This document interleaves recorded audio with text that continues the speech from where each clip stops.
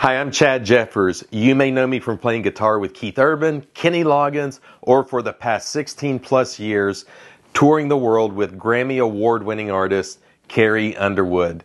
You know, to be a professional musician, you need the best of the best when it comes to equipment. For me, I always had great guitars, great amps, and all of that, but the one thing I didn't have was great cables. And that's because I didn't know that there was really a big difference. That wasn't until I found Analysis Plus. These cables are amazing, and they were a game changer in terms of how my tone was. They uh, took a good tone and made it even better.